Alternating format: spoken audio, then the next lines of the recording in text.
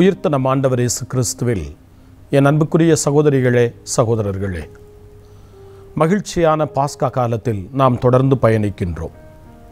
நம் ஆண்டவர் இயேசுவினுடைய விண்ணேற்ற பெருவிழாவை நேற்று மிகச் சிறப்பாக மகிழ்ச்சியோடு நாம் கொண்டாடி அந்த பெருவிழாவை நிறைவு செய்திருக்கின்றோம்.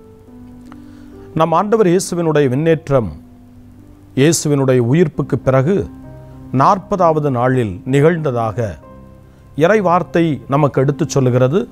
அந்த நாற்பது நாட்களும் தான் உயிரோடு இருப்பதை இயேசு உறுதிப்படுத்தினார் உண்மைப்படுத்தினார். தன்னுடைய சீடர்களை சந்தித்த போதெல்லாம் தான் வாழும் கடவுள் என்பதை அவர் நிலைப்படுத்தினார். பாஸ்கா காலம் கடவுள் நம்மோடு வாழ்கிறார் என்பதை நமக்கு சொல்லக்கூடிய காலம். விண்ணேற்றம் அடைவதற்கு முன்பு கூட நாம் இயேசுவினுடைய வார்த்தைகளை நாம் சிந்திக்கிற போது உலகத்தினுடைய முடிவு வரை நான் உங்களோடு இருக்கிறேன் என்று அவர் சொன்ன வார்த்தைகள் மத்திய நற்செய்தியிலே நமக்கு தரப்பட்டிருக்கின்றன. எனவே இயேசுவினுடைய விண்ணேற்றம் என்பது அவரை நம்மிடமிருந்து பிரித்து விட முடியாது நம்மிடமிருந்து அவரை பிரித்து விட முடியாது. ஆனால் இயேசு விண்ணேற்றம் அடைந்த காலத்திலும் கூட தான் ஒரு துணையாளரை சீடர்களுக்கு தன்னுடைய மக்களுக்கு அவர் அனுப்புவதாய் வாக்களித்திருந்தார். உங்களை நான் திக்கற்றவர்களாக விட மாட்டேன் யோவான் நற்செய்தியிலே நாம் இந்த வார்த்தைகளை வாசிக்க முடிகிறது. தந்தை ஒரு துணையாளரை உங்களுக்கு அனுப்புவார். அந்த துணையாளர் வருகின்ற போது உங்களை நிறை வாழ்வை நோக்கி வழிநடத்துவார் என்று இயேசு வாக்குறுதி தந்தார். அந்த வாக்குறுதிக்காக திரு அவை காத்திருக்கின்ற காலம்தான் பாஸ்க காலத்தினுடைய இந்த காலம். தூய ஆவியாருக்காக நவநாட்களை மேற்கொள்ளுகின்ற காலம் இந்த பாஸ்கா காலத்தினுடைய நாட்கள் இந்த புனித காலம்.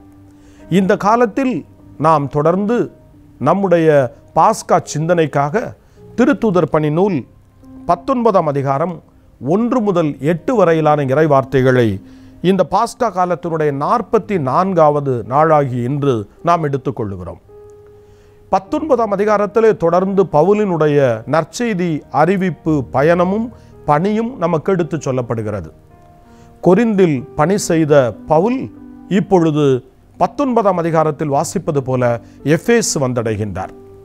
எஃபேஸிலே வந்து அவர் தன்னுடைய மக்களை தன்னுடைய நற்செய்திக்கான சீடர்களை அவர் சந்திக்கின்றார். அங்கே அவர்களை அவர் சந்திக்கின்ற போது இறைவார்த்தை அவர்களுக்கு எடுத்துச் சொல்லுகின்றார். ஆனால் எஃபேஸில் இருந்த மக்கள் ஏற்கனவே திருமுழுக்கு பெற்றிருக்கிறார்கள். எனவே அவர்கள் பெற்றிருக்கிற திருமுழுக்கோடு இணைத்து தூய ஆவியாரை பற்றிய அந்த போதனைகளை பவுல் இங்கே அவர் கொடுக்க தொடங்குகின்றார். அப்பொழுது எஃபேஸில் இருந்தவர்கள் இதுவரை தூய ஆவியாரை பற்றி கேள்விப்பட்டதே இல்லை என்ற ஒரு நிலையை பவுலுக்கு தெளிவுபடுத்துகின்றார்கள். அப்பொழுது பவுல் அவர்கள் மீது கைகளை வைத்து அவர்களுக்கு தூய ஆவியாரை தருகின்றார் என்று சொல்லி இன்றைய இந்த இறைவாக்கு பகுதி நமக்கு எடுத்து சொல்கிறது.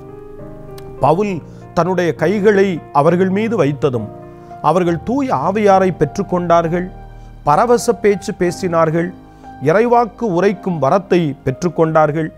அந்த இறைவாக்கு உரைக்கும் அந்த பணியை அவர்களும் செய்ய தொடங்கினார்கள் என்று பார்க்கின்றோம். தூய ஆவியார் எப்படி பவுலை ஒரு நற்செய்தியின் பணியாளராய் மாற்றினாரோ நற்செய்தி அறிவிப்பாளராய் மாற்றினாரோ நற்செய்திக்காக அவர் எப்படி ஒதுக்கி வைக்கப்பட்டாரோ அதே போல திருத்தூதர்களால் கைகள் யார் மீதெல்லாம் வைக்கப்பட்டதோ அவர்கள் மீதெல்லாம் தூய ஆவியார் பொழியப்பட்டார் என்பதுதான் இறைவாக்கு நமக்கு சொல்லும் பாடம் திரு அவையினுடைய வரலாறு நமக்கு சொல்லும் பாடம் இந்த நாட்களில் தூய ஆவியாருக்காக திரு அவையும் நாம் ஒவ்வொருவரும் காத்திருக்கின்றோமே. நமக்கும் அது தருகிற நம்பிக்கையாக இருக்கிறது. தூய ஆவியார் நம்மை உறுதிப்படுத்தக்கூடியவர் நம்மை இறைவாக்குக்கு ஏற்படி வாழ வைக்கின்றவர் அந்த இறைவாக்கை பிறருக்கும் அறிவிக்கச் செய்கின்றவர். அதுதான் சீடத்துவ பணி என்று சொல்லி இந்த பாஸ்கா காலத்திலே நாம் தொடர்ந்து சிந்திக்கின்றோம். நாம் தூய் ஆவியாரால் நிரப்பப்படுவது உண்மை சீடத்துவம். அந்த ஆவியாரை இறை வாக்காய் இறைவாக்கு பணியாய் பல வகை கொடைகளை கொடுக்கக்கூடிய பணியாய் நாம் செய்வதும் சீடத்துவ உருவாக்க பணி. பாஸ்கா காலத்தில் தூய ஆவியாருடைய பெருவிழாவுக்காக மன்றாடுகிற நாம் தூய ஆவியாருடைய வருகைக்காக காத்திருக்கிற நாம் இந்த நாட்களில் நம்முடைய சீடத்துவத்தை தூய ஆவியாருடைய வல்லமையால் உறுதிப்படுத்திக் கொள்வோம். தூய ஆவியாருடைய பொழிதலால் புதுப்பித்துக் கொள்வோம். அதே தூய ஆவியாருடைய கொடையை நாமும் பிறருக்கு வழங்கி பிறரையும் சீடராக்குவோம். சீடராவோம் சீடராக்குவோம். ஆமேன்.